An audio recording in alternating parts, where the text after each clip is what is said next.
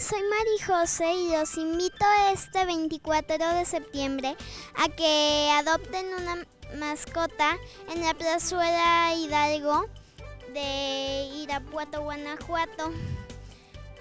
Adopten una mascota.